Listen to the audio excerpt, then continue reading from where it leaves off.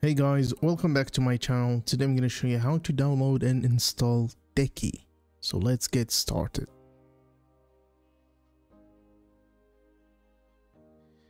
Go to Google, search for Decky, or you can go to Decky.xyz, download. You download it, you move it to desktop.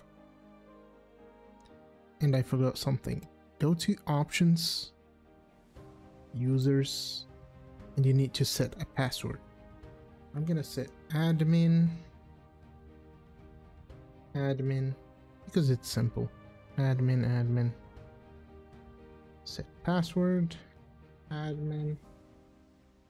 Okay leave and changed close and now start Decky installer. Continue password admin okay. Uh, recommended for stable SteamOS okay.